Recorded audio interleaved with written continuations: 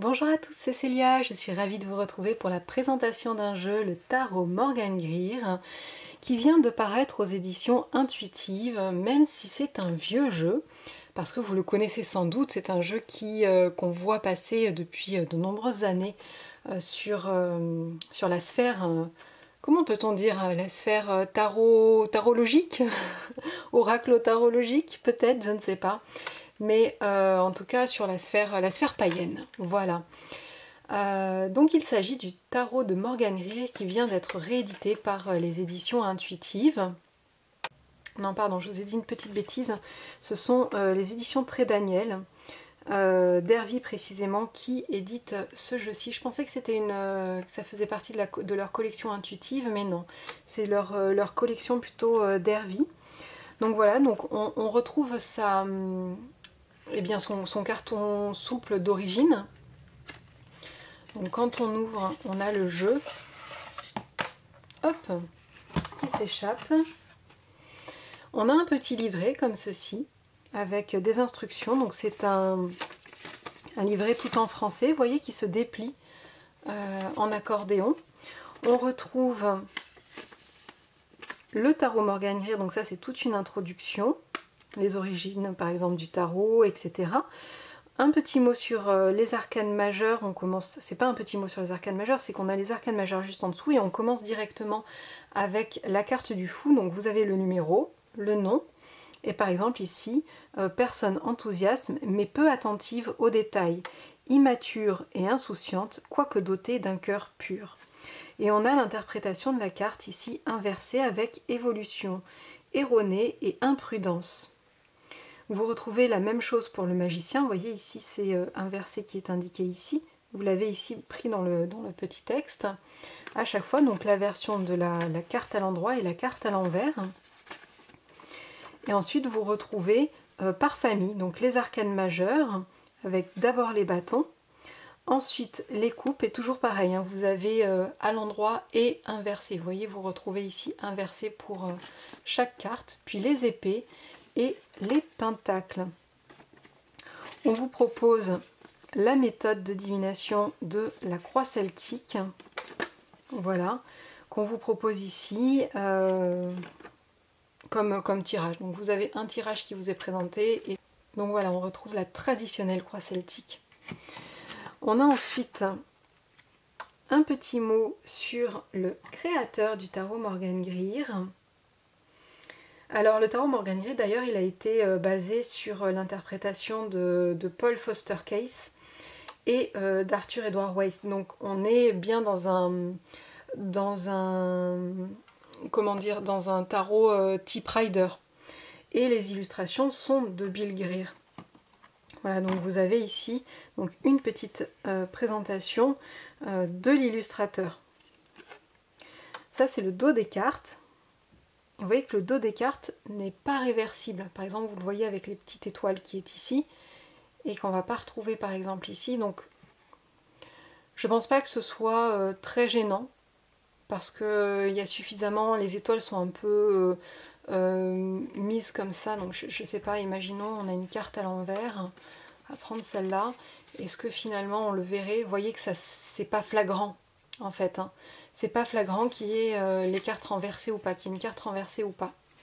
Alors au niveau du carton, on a un carton tout à fait, euh, tout à fait standard, euh, qui, glisse, qui glisse bien pour ceux qui aiment les cartes qui glissent. voilà, je pense que c'est un vernis... je sais pas ce que c'est comme vernis, c'est un vernis un peu, un peu satiné. Et je vais vous montrer maintenant les illustrations. Alors, vous avez la carte de présentation. Et on commence par le fou. Alors, ce qui est très sympa dans ce jeu, ce sont, euh, moi je trouve, ce sont les, personnages. Euh, il, y a un, soin, euh, je trouve, particulier qui, a été réalisé pour créer chaque personnage. Et c'est un tarot qui est très coloré. C'est un tarot qui est euh, joyeux. Il y a beaucoup de douceur dans, le visage de la force que je trouve euh, très très beau. On a le traditionnel ermite la roue de fortune qui a été retravaillée. Vous voyez qu'il y a une petite main euh, qui sort d'un nuage, donc la main divine qui tourne la roue. La justice, le pendu, la mort que je trouve très jolie dans ce jeu, la tempérance, le diable, la tour, l'étoile, la lune, le soleil, le jugement. Vous voyez qu'on a beaucoup de, jaune et de bleu. On a pas mal de couleurs primaires aussi qui sont euh, mises en avant, comme par exemple ici le bleu, précédemment le jaune. Donc ensuite on est dans la série des bâtons, le 2. Vous voyez qu'on a un zoom sur le personnage, on ne le voit pas de loin, de dos, qui tient sa sphère, euh, on a un personnage qui est... Euh, là, on a comme un, zoom sur son visage à chaque fois. Pareil ici pour le 3. Là, on a le 4, le 5, le 6, le 7. Toujours pareil, on a ce, zoom, ce focus qui est fait sur le personnage. C'est la même chose ici. Et pareil, pour ici, vous voyez, on ne le voit pas en entier qui porte ces, deux, bâtons. Euh, on ne voit pas ses jambes, on ne voit pas le village au loin. Il y a une forme d'intimité qui se crée comme ça, à être aussi, aussi euh, focusé euh, sur une image. Ensuite, on a les pentacles. Vous voyez, même quitte à être coupé en plus. Hein.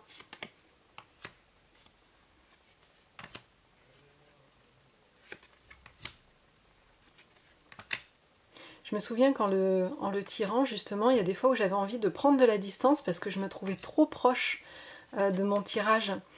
J'avais un peu l'impression que ça, hum, ça empiétait, que, le, que les cartes, euh, ou que le personnage sur les cartes empiétait sur, euh, dans, ma zone. je ne sais pas comment vous expliquer ça, le fait que ce soit aussi, aussi cadré, aussi rapproché. Hein j'avais besoin de, prendre un petit peu de distance. J'aime beaucoup, beaucoup l'as de coupe, je le trouve très très beau. Vous voyez, on a l'impression peut-être euh, d'être très proche en fait, de faire partie de la scène, euh, même d'être trop proche des fois euh, de la scène.